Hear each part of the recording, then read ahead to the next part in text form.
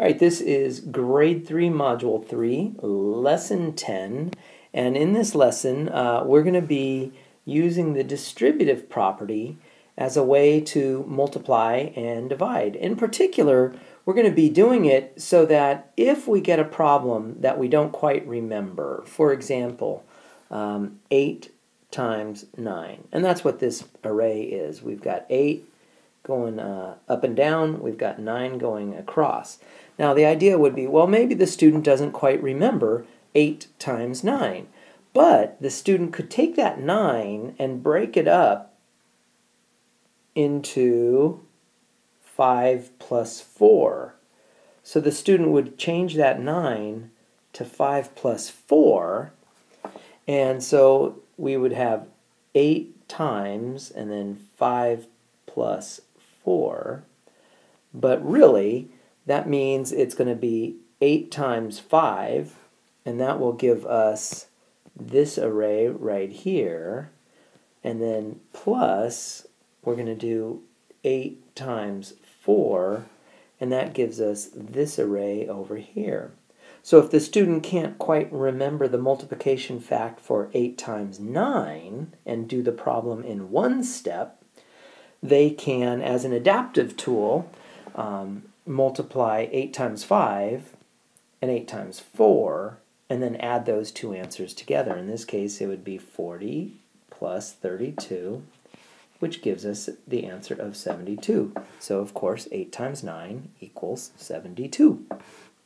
Um, and of course, ultimately, we want students to memorize their fact. We want them to know that 8 times 9 is 72. But in the meantime, as we're building understanding, uh, we don't have to wait for the student to understand. That we they could get or memorize the answer. They can get the answer through uh, developing number sense and understanding that 9 can be broken up into 5 and 4, and you can solve the problem in two steps instead of one. So let's put that into practice. And uh, we've got this array, and we can see that the array, uh, let's see, has one, two, three, four, five, six, seven. So it's seven rows. It's it's seven going up and down. So I'm going to label that seven.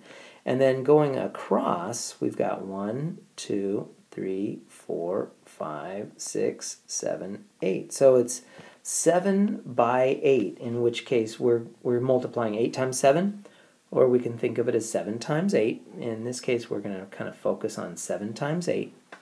And so we have this 8. Whoa, that's a funny looking 8. So we have this 8. But let's say the student doesn't quite remember 7 times 8 off the top of his head. So we can use the distributive property and break this up into two smaller arrays.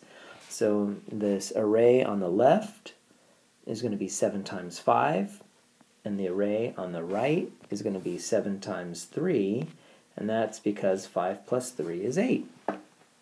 And then we're going to use our multiplication that we do remember. 7 times 5 is 35. 7 times 3 is 21.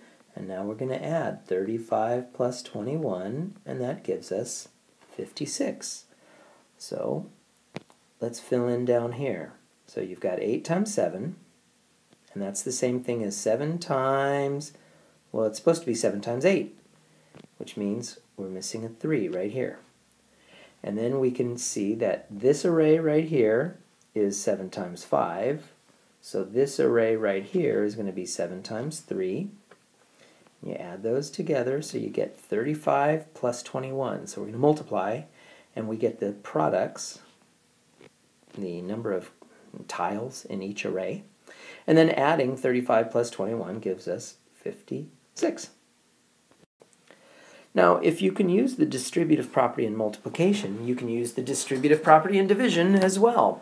And so in this case, they have already done the breaking for us. They took 72, in this case, I'm going to put it like this, and they broke up 72 into 40 plus 32 using, so they broke it up using addition or subtraction, whatever you want to call it. And then, instead of dividing 72 by 8, we're going to do 40 divided by 8 and then 32 divided by 8. So over here in the right, 72 divided by 8 equals 40 divided by 8 and 32 divided by 8. That's this part right here and right here. Now we can see that 40 divided by 8 is 5, so 32 divided by 8 is 4, and 5 plus 4 is 9. And we can see that over in this area right here. So if we don't remember that 72 divided by 8 is 9, we can break it up. Oh, well 40 divided by 8 is 5. 32 divided by 8 is 4. Ah, so that means the answer is 9.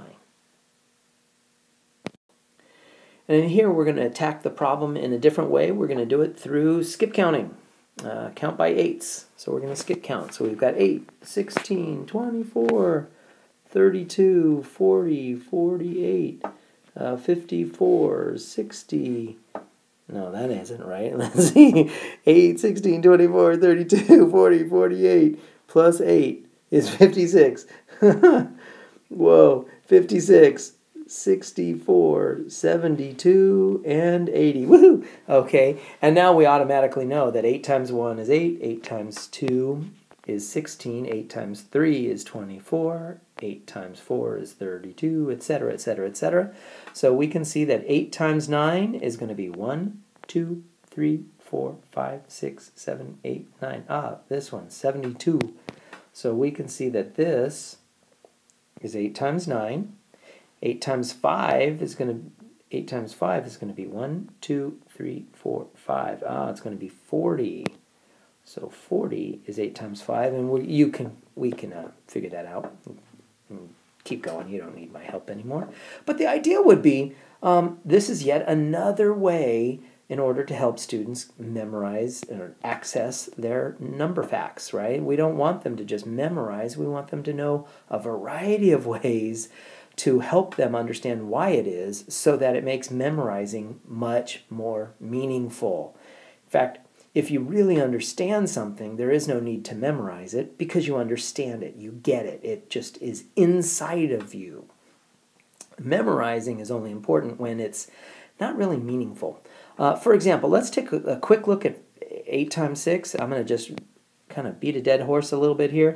I'm going to say, okay, let's say we've got 8 times 6 um, and you don't quite remember what 8 times 6 is, uh, a couple of ways to do it. You could take that 6 and change it to 5 and 1.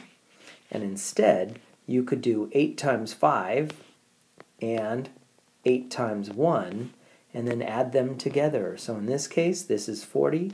This case is 8, so the answer is 48. All right, so 8 times 6 equals 48. So don't forget, we got a variety of ways for students to um, memorize their multiplication facts. And that is grade 3, module 3, lesson 10.